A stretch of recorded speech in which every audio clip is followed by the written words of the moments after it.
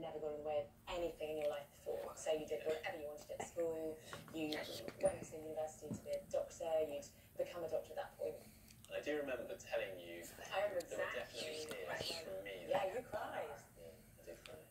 And actually, then telling me was a huge relief because I thought it was going to be something far worse. Yeah. But I don't know, you had some horrible past, or I don't know, you've been married to some other, or like,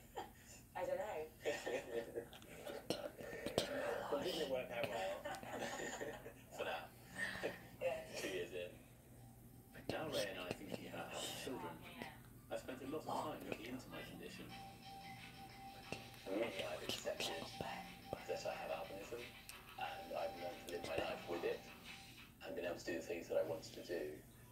And then I've heard that there are people in other parts of the world, particularly East Africa, where that is just not an option for them. Waterproof? The raincoat, we are approaching the rainy season. I'm heading to Tanzania, which has among the highest rates of albinism in the world.